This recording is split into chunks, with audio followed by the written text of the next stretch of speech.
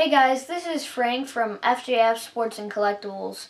Um, this is my first video, and I thank you for coming in to watch it.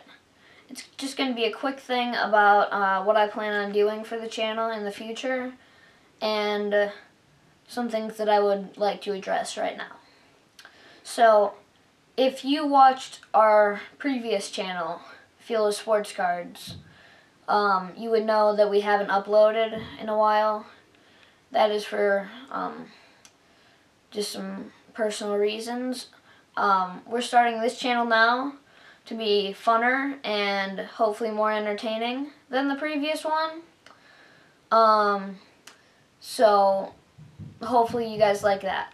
Some video ideas that I hope we can um, do in the future uh, would include uh, you know, some in real life sports videos, challenge videos, still more sports card videos, as you would know from the uh, FSC channel.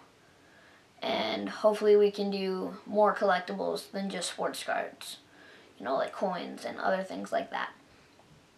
Um, as for right now, um, we might do some trivia in every video and you can leave a comment down below uh, for the answer. There might be just some other questions um, about like who's your favorite, uh, let's see, NFL player. Put that in the comments below. Um, so that's about it for now. I'll probably have another video up tomorrow um, that will, and I might shout some of you guys out that uh, commented. Now, there's some a kid in my class that uh, said I can make fun of him if I plugged his YouTube channel.